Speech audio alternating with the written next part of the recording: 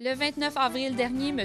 Rénal Bernier, citoyen et maire de Saint-Pascal, a invité la population pascalienne, les élus, les gens d'affaires et les organismes à souligner la nouvelle image de la ville lors d'un 5 à 7 qui s'est déroulé au centre communautaire Robert Côté. La ville de Saint-Pascal affiche ses couleurs avec un nouveau logo qui est axé sur la famille et un slogan qui représente bien l'orientation prise par le conseil municipal On voit loin.